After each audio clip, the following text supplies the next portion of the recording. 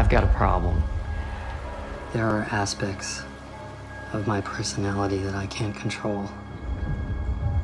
See a shrink. It's a little bit more complicated than that. Bruce, trust me when I tell you, I've heard them all. Not this one.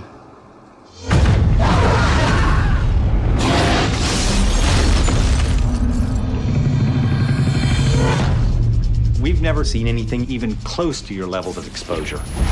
That you survived an event like that, it's beyond my comprehension. I don't want to control it.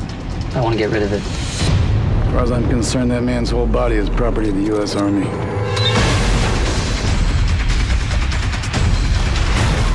They want it as a weapon. If we let it go, we will never get it back.